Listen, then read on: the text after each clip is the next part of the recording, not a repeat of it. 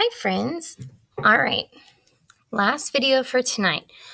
We struggled with, let's see, let's do pink. Mm, okay, we struggled with ordering numbers on our CCA. If I gave you instructions, order from least to greatest.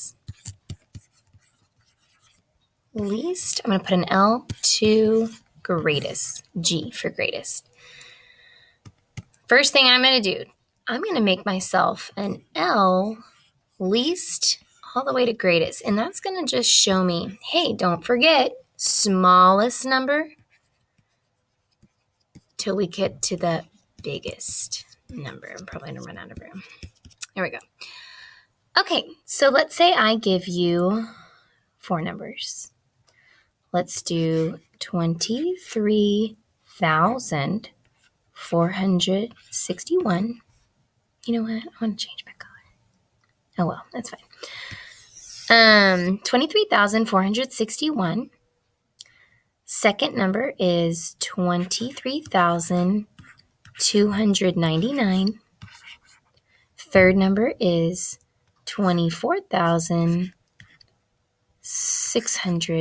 24,650. And then the last number is 23,018. All right, some of you are thinking, I can just look at it and order it. But let's just remember, let's review what I've taught you to do.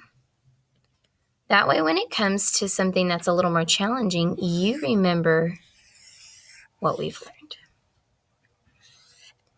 Remember, it's very important to turn your paper sideways if I give you some notebook paper so that you can create for yourself a place value chart. We have ones, tens, hundreds, thousands, ten thousands. So I need one, two, three, four, five. One, two, three, four, five spaces. Let's erase the other. All right.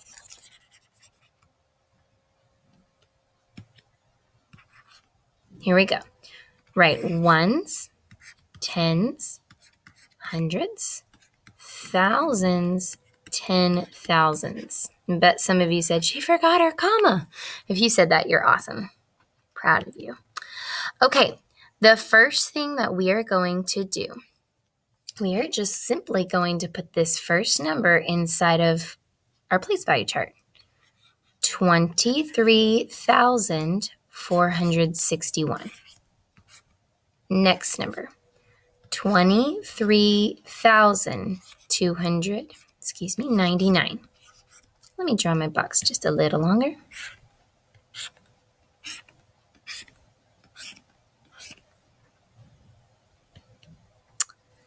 Third number, 24,650. Last number, 23,000. Oh my goodness. Well, what happened there? Technology.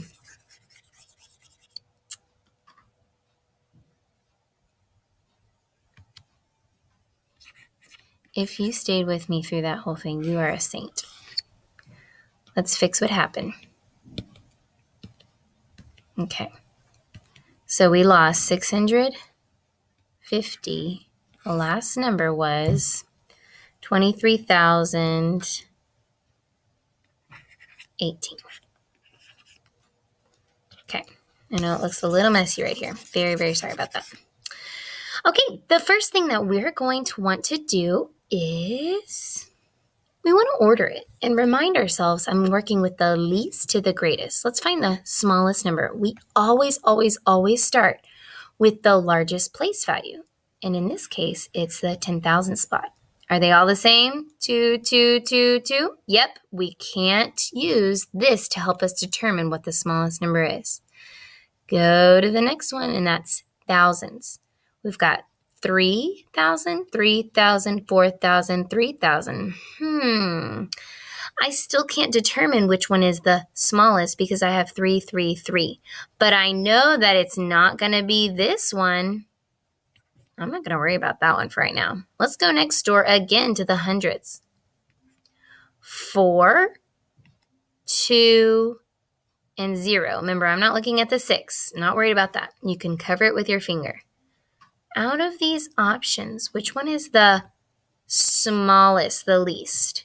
If you said 23,018, you're correct. We're going to put a number 1. That's the first one in our order.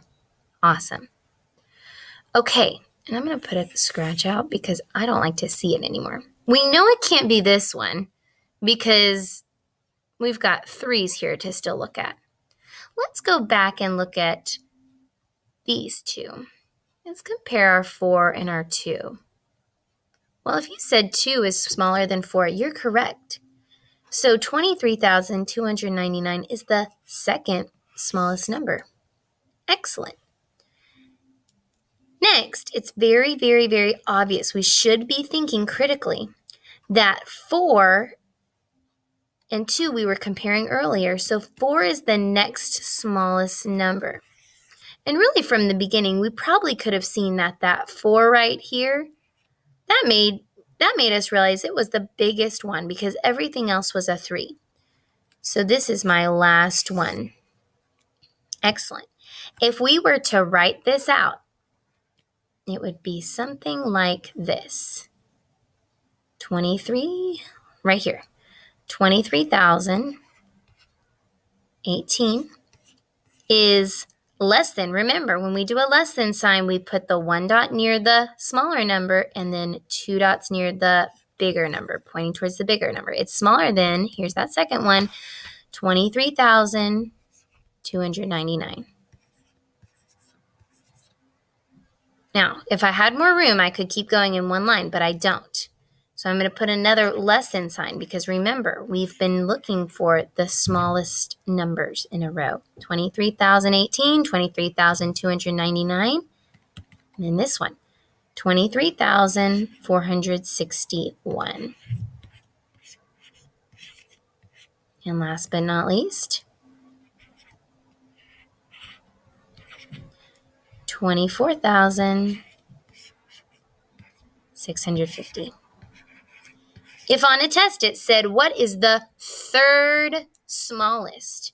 Well, this was my first. That one was my second. The third smallest would have been this 23,461. Sometimes what it wants you to do is it wants you to put all of these in order. And then out of that, it's going to say, okay, now find the third smallest. And your job would be to find that third smallest one. We'll keep practicing these ones in class because they're pretty challenging, but I want you to remember how we do our method because some of you had forgotten already, and I know how much stuff we're learning. So look at this with your family, talk about it, and parents, you could even give them like four different numbers and just say, put them in order from greatest to least or least to greatest. I hope that helps, and I hope you guys have a great night.